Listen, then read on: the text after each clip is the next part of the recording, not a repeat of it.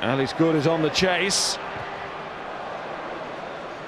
Knows all about challenging high in this season's competition.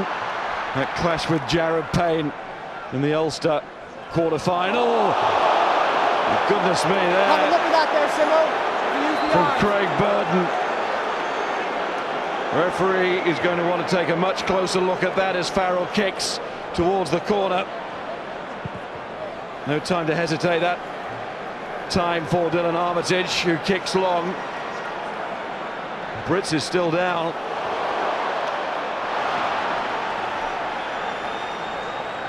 But Vunipola might have been hurt in all of that. Barritt gives a pass to Stevens. Move! Wigglesworth. Farrell. They're going wide. Barritt. Borthwick. Ashton was waiting on his own. Habana had him covered.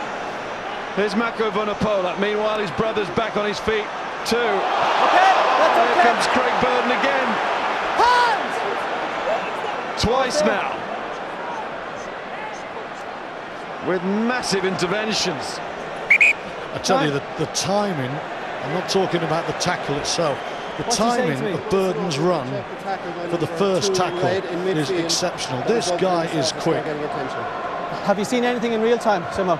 I've only seen it once, Rollins. I don't know whether you want another look. I can't hear what he's He's only saying. seen it once Yeah. in real time. And it's looking No, play on.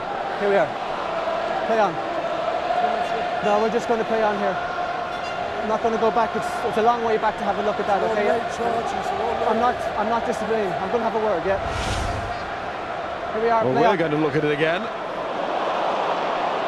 I don't think it's a shoulder in the tackle. It's a shoulder, but I think the other Yeah, arm's use round. the arms. It's a great tackle. Here we are.